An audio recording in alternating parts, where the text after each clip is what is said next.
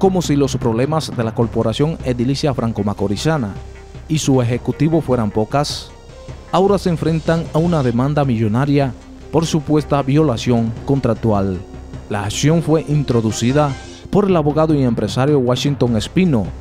Los hechos se remontan al año 2010, cuando el Consejo de Regidores aprobó la construcción de un proyecto habitacional que sería ejecutado por la empresa del demandante en unos terrenos propiedad del ayuntamiento.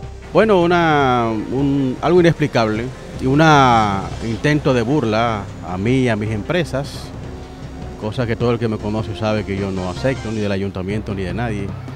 Resulta que el Consejo de Regidores aprobó en dos resoluciones diferentes la construcción de un residencial denominado Jardines de San Diego, un proyecto de apartamentos para empleados, funcionarios y para municipios que pudieran calificar para ello. Como el título donde se iba a construir el proyecto pertenecía al ayuntamiento y había sido traspasado a una empresa de Santiago, entonces el acuerdo establecía que mi oficina jurídica se encargaría de recuperar ese título. Nos pasamos casi más de un año peleando los tribunales para recuperar el título del terreno.